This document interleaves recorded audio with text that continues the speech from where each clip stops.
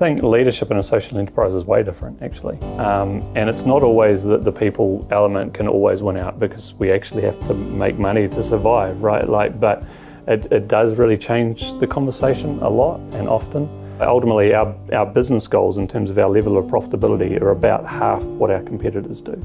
So we're going, because we're a social enterprise and because we, we're doing good, and the stuff that we're doing, even with our on site staff, it actually costs us money that our competitors aren't prepared to spend.